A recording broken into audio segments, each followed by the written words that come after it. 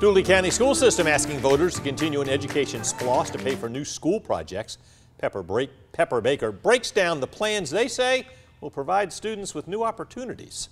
Dooly County Schools aim to provide their students with all the resources they need to learn. Keisha Carter has a son in the 11th grade and she sees their efforts. We want our kids to be happy, but we also want them to be successful when they leave. Um, so I see Dooly County moving towards that direction. That's why she's supporting the education splost on the November election ballot. I want parents to understand too, you know, our kids deserve it.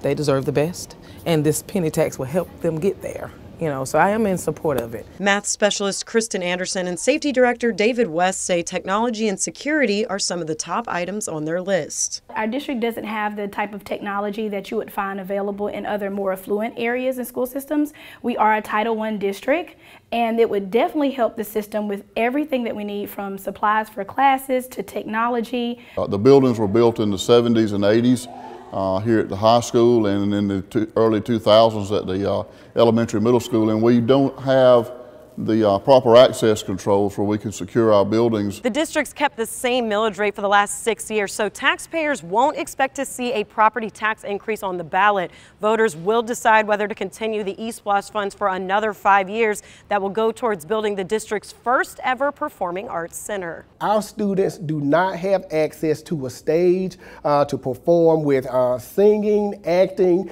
dancing, this is our opportunity to give them uh, options that other students have. It's just important that we continue to support our own and keep our dollars here in Dooly.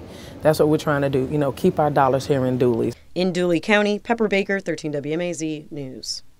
Other projects include a food processing plant on campus for their agriculture program and upgrades to athletic facilities. The district would receive more than $7 million from ESPLOST funds over five years, starting in January 2020.